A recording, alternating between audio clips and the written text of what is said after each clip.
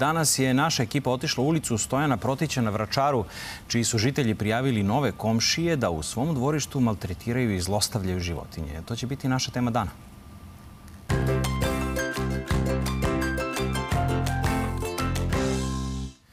Ovaj slučaj više puta prijavljavam policiji, ali bez rešenja jer je skupljanje otpada i životinje na njihovom posedu postalo svakodnevica. Više informacija o slučajima Teodora Todorović. Teodora, ti si danas bila na licu mesta. Kakva je situacija i da li se sada nazire rešenje?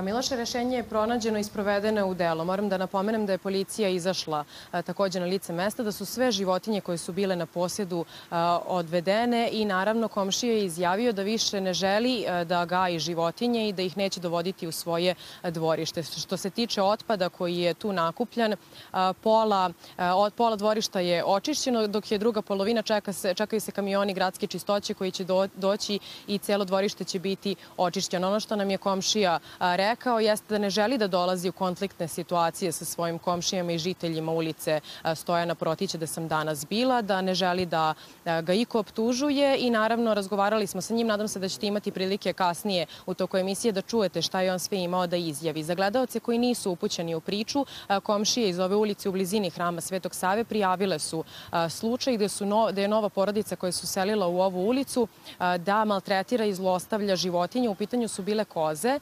Snimak je objavljen na društvenim mrežama i uznemirio je javnost. Takođe, komšije su se žalile da je ovo dvorište ranije bilo čisto i uredno, da to sada nije slučaj. Kao što sam i rekla, ovo, za, za to je sve pronađeno rešenje. Komšije je takođe napisana i kazna koju će morati da plati i naravno neće više tu držati životinje. Kao što sam i rekla, kasnije nešto u toku emisije čućete šta je on imao da izjavi, ali rešenje je pronađeno. Hvala Teodora. Mi ćemo nastaviti da se bavimo ovom temom u studiju. U Srbiji godišnji bude ubijeno skoro 300.000 životinja. Podaci su Udruženja za zaštitu životinja. Šta kaže zakon, kako, kako ga nadležne institucije sprovode, to su neka od pitanja za Željka Stojičića, koji je nezavisni aktivista za zaštitu i prava životinja. Dobar dan, dobrodošli u 150 minuta. Bolje vas našao. Pretpostavljam da ste upućeni u aktualni slučaj, pa me sad zanima vaš da, komentar. Da, da, da. Pa mislim, upućen sam toliko koliko sam video na, na na, snimku, ali to nažalost nije ništa novo. Znači, to nažalost nije ništa novo. Sad, koja je pozadina ove priče, da ne ulazimo u to, ajde se držimo ovoga što je, što je tema, to je to zlostavljanje životinja. Nažalost, u ovom slučaju su životinje te koje su, koje su najviše nadrljale i da, ovaj podatak oko 300.000, ajde da se zadržimo na tome, oko 300.000, od 250 do 300.000 sad u ovom momentu dok mi pričamo u Srbiji bude ubijeno od 400 do 600 životinja svaki dan. Kako, kako, doći, kako smo došli do te cifre ili kako ste došli do te cifre? Pa, e, te, te, te cifre koje ja izbacujem meni mnogi osporavaju, ali niko ih nije još demantovao, iz prostog razloga. Zato što sad kad bi krenuli da tražimo informacije od davnog značaja, samo od zvaničnih registrovanih šinteraja, da li su to privatni ili, ili državni, u ovom slučaju privatni šinteraji, to je sad postavljeno šest godina hit i to nam je najveća kost u grlu kad bi, kad bi tražili informaciju i danog značaja i kad bi sabrali te cifre u broju eutanaziranih životinja, mi dolazimo do, do, do približno tih 400, 500 do 600. Znači, po zvaničnim e, informacijama. Ako sam dobro razumeo, vi, vi ste i sami izjavili da mi imamo jedan od boljih zakona da, kada da, je zašta životinja. Mi imamo jedan od najboljih zakona za zaštitu životinja u Evropi, po meni. Jedina mana tog zakona je uh, niska kaznena politika ali to je sad već neka druga priča. Mi imamo zakon koji zabranjuje eutanaziju najstrožije, a mi imamo svaki dan ubijeno 400, 500, 600 životinja. Mi imamo privatan šinteraj u Srbiji koji, koji ubije a, po onome što preda. Znači, sad, to je, to je jako veliki problem. U njih ne možemo nikakve podatke da dobijemo. Oni su kao beli medvedi. Ta firma se zove Aveni MB i ona je u, u Novom selu kod Vrničke manje. I sad imamo, imamo situaciju da oni potpisuju ugovore sa drugim opštinama. Trenutno imaju sa otprilike, otprilike 50 opština i a, a, idu i skupljaju pse. I sad imate recimo priču gde Avenija MB njihovi šinteri idu u Belu crkvu ili u neku drugu opštinu koja je udaljena 250, 300, 350 km od matične Vrnjačke banje i imate ono što je, što je u stvari pa ajde da kažem, nešto najmonstruoznije što se dešava u poslednjih šest godina. A to je ta njihova čuvena prikolica. Prikolica koja koja je predviđena za dva do tri psa oni znaju da natrpaju po 40 pasa unutra. I sad vi zamislite metalna kocka. Znači, to je metalna kocka 100, 140 puta 170, nekih 70-80 visine i tu se nabio 40 pasa. Mi imamo snimke, ja sam vam poslao, ne znam da li smete da emitujete, imamo snimke kako to izgleda. Te životinje se unutra međusobno kolju, te životinje se guše, te, te životinje preko 50% ne stigne živo do Vrničke banje. Čekajte, znate šta je tu interesantno? Razumem vas potpuno, razumem i situaciju i mogu da, da sagledam uh, uh, bol sa kojim se, ili patnju sa kojim se životinje susreću. Ono što je meni interesantno je video sam, više, video sam više takvih snimaka, pa mogu da vam kažem da mogu, imam, vlasnik sam psa. Ali ono što je meni interesantno je da evo vi sad pričate u krugu od 300 bilo koje firme, bilo da, koga koji da, deluje u nekom da. tom krugu i da se niko, da niko zapravo ne prijavi prijavljuje, prijavljujemo svi. Imate, imate prvu stvar. Prva stvar je da zakon zabranjuje da se životinje voze iz jedne opštine u drugu, bez određene papirologije. Znači, evo, to je prva stavka zakona koja, koja, koja bi trebala da zabrani taj prevoz i to hvatanje. Imate drugu situaciju gde, gde se nadležna institucija, u ovom slučaju upravo za veterinu, Uprava za veterinu je nadležna za 80%, čak i za ovaj slučaj na Vračaru je uprava za veterinu, njihovi veterinski inspektori. Tu sad ulazi policija ako dolazi do nekog e, mučenja, zlostavljanja, ubijanja, ali je pretežno uprava za veterinu. I sad imate e, gospođu Milakaru, koja je VD iz uprave za veterinu, koja kaže, pa mi ne znamo ništa o toj prikolici. I onda mi postavimo pitanje, a šta je sa prijavama? Mi godinama podnosimo prijave. Ja tvrdim odgovorno da ne postoji u Srbiji, da ne postoji firma fizičko lice, pravno lice koje ima više prijava nego što ima Aveni MB. E, ajde da pogledamo na trenutak e, Teodora Todorović koja se uključila, nam je rekla da je snimljena izjava osobe koja je na vračaru ubijala životinje i maltretirala, pa bih volao sada da pogledamo zajedno pa ćemo prokomentarisati. Evo snimka. Koliko ste životinja ovde imali? Imali smo dve koze, jednu jagne, dve kokoške, dva peto, jednog malo. I to je životno. Vi znači smatrate tako, znači može nekog da udari i da beži.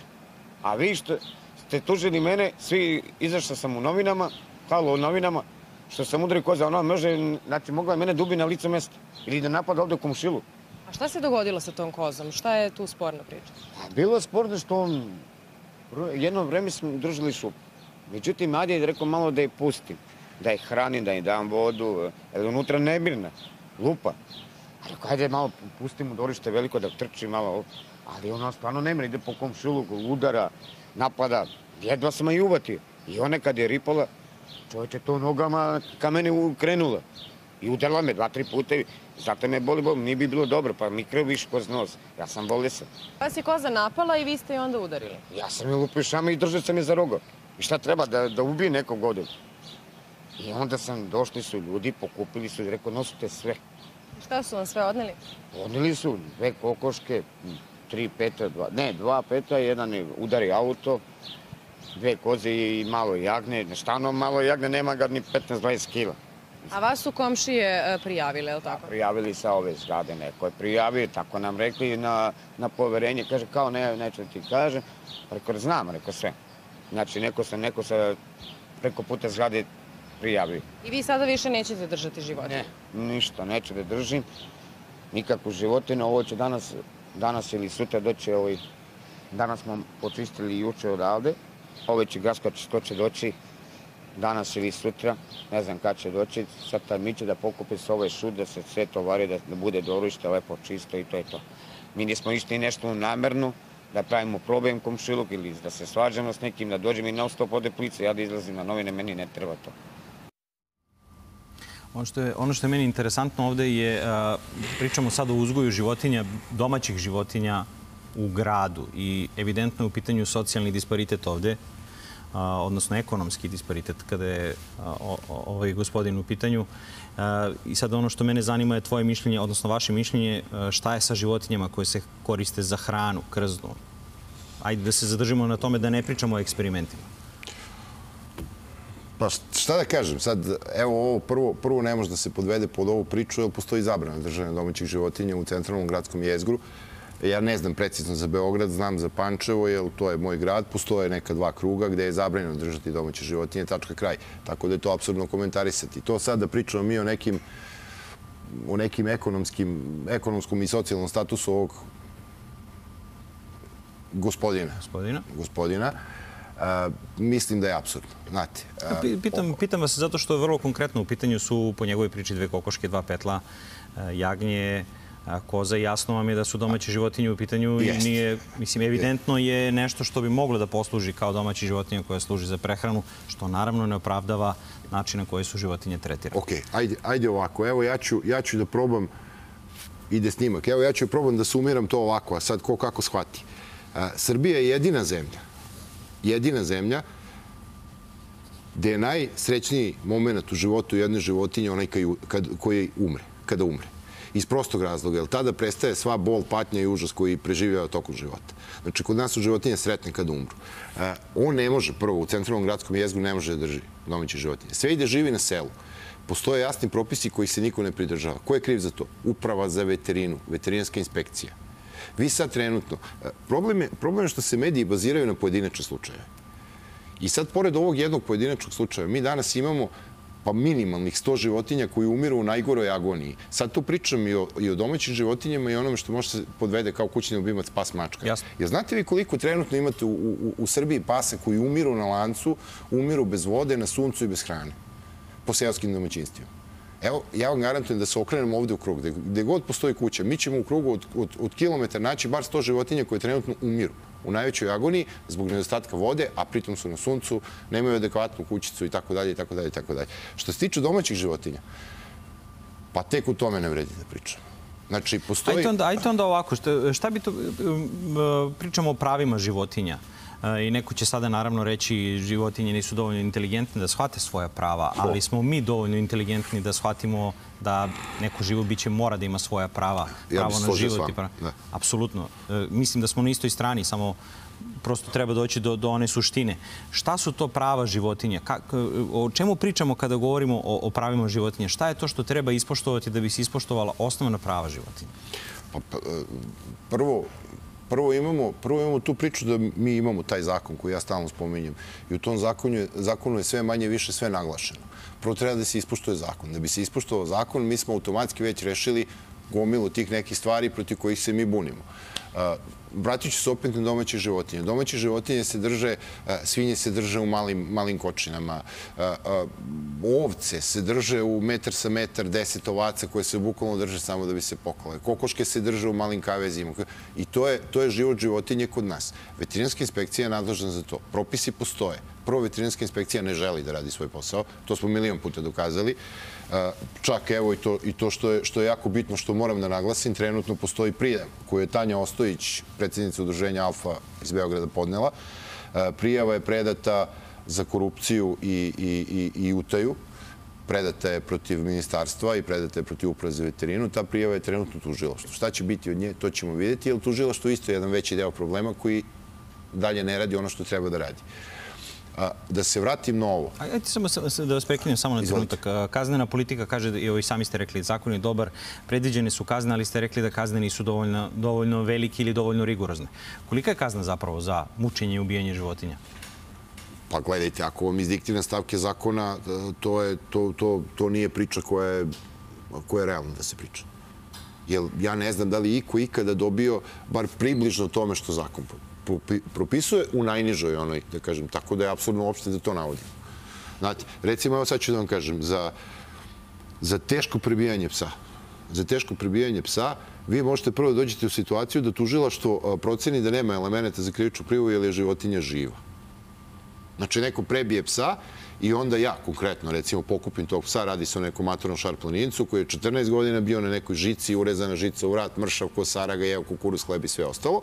Kad mu više nije treba, on ga izbacio napolje i on ga je mučenik našao. On je tumaro tu po tom nekom selu i našao je svog gazdu koji je uzao štanglu i isprebio ga. Izlomio ga je. Taj pas je ostao živ, e, veterinari su ga izvukli, od tog procesa nema ništa zato što tužila što nije vidjela elemente za krivičnu prijavu, jer je pas živ. Ja ne znam da, li- da, da, da možete da uhvatite. Jasno. Znači, to je isto kao... Sad, sad opet dolazimo do toga, mi koji se bavimo zaštitom životinja, mi smo ludi. Ali Ako čekajte, niste mi završili, ali čekajte, niste mi završili priču. Da je taj čovek optužen kako jeste, da je završeno sve sa za- da je završeno sve u zakonskom roku onako kako bi trebalo da bude. Koja je to kazna koja bi bila njemu propisana? A, njemu, pa njemu, njemu možda bude propisano 15-20 hiljada dinara da uplati u dobrotvorne svrhe, eventualno će dobiti, ja ne znam da li će dobiti nešto uslova i to je to. To vas pitam. Koja je, To je to. koja je vrlo To je konkretno kazna? Pa vi imate, ja mislim da je, da je, da je, da je najveća kazna koja je u Srbiji propisana bila, to je za onog što je klao psa u Obrenovcu i to snimao. I to je proglašeno za neko sektorsko ubistvo, da li je dobio 7 ili 8 meseci zatvora. Složit ćete se sa mnom da uh, su uh, društva, mislim, složit ćete se sigurno sa mnom, da su društva za zaštitu životinja često na meti optužbi za fanatizam u Srbiji ovde kod nas, ovaj, kada su životinje u pitanju, naravno. I sad, uh, više bih voleo od vas da čujem kada bi neko sada želeo da se uključi u borbu za zaštitu životinskih prava, koji bi to bio pravi put i koja bi to bila početna tačka, gde neko može da se prijavi i kako to može da radi? Pa ja bi sad trebao da budem, e, da kažemo, eto, kao na televiziji si, pa sad moraš da se držiš neki... Ja, ja, ja ne mogu da kažem da je to tako, ko što vi kažete, e, da se optužuje za fanatizam. Jel mogu otvoreno da kažem onako kako, kako stoji situacija da taj neko ko hoće da se uključi da shvati šta je najveći problem ovoga društva? Najveći problem ovoga društva što taj džeki na ulici nekom donosi pare. I to je problem. Kad taj džeki bude prestao da donosi nekome pare, onda neće biti problema. Onda će jednostavno da prestane problem, jer neće biti džekija na ulici. Vi kažete, Udruženje za zaštitu životinja se optužuje za fanatizam. Ja Udruženje za zaštitu životinja optužujem da žive od, od životinja. Vi trenutno u Srbiji imate 80% udruženja za zaštitu životinja koji se bave ovim isključivo radi lične koristi. Znači, radi a, zarađivanja novca preko tih životinja. Vi imate od, od pojedinaca koji se bave, kao što sam ja, samostalni aktivista, ogroman broj njih koji nađu psa polomljenog, slikaju psa polomljenog, to se kače na Facebook, skupljaju se donacije i zarađuje se. jasno. Samo, Onda samo, koji- samo mi dajte, molim vas, 30 sekundi, samo da vratim Ako možete od tih Sloga. 30 sekundi samo da se vratite na ono gde, koja je početna, početna tačka, gde neko može da se prijavi da, da postane zaštitnik životinja.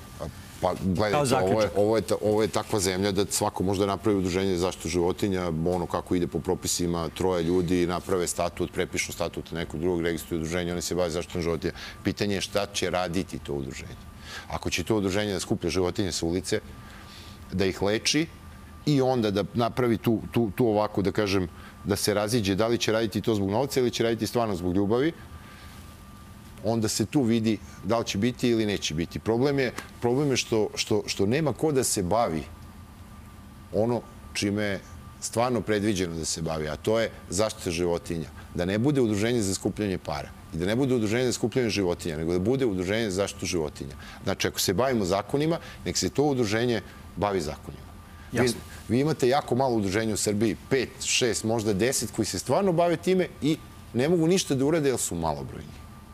Jasno, neka, on- onda je zaključak, neka bude zaključak da zapravo zakon mora da se ispoštuje do kraja za početak Zaključak- i da ljudi koji se bave e, zaštitom životinja zapravo počnu da se bave zaštitom životinja, a ne ličnom koristi. A ne skupljenjem A životinje. ne. Zaključak neka bude, ako ja mogu da, da, da zaključim Kažite. sad, evo sebi da dam slobodu, zaključak može da bude da to, tog momenta kad institucije budu krenule da sprovode zakon i automatski će biti presečena i ta linija sve više životinja na ulici koji smetaju i Žiki, Miki i Peri, smetaju nama koji imamo životinja, smetaju onima koji nemaju, koji mrze i sve će biti rešeno. Znači, taj Gospodin zakon je... Hvala vam najlepše na gostovanju u 150 Hvala vam što ste me pozvali.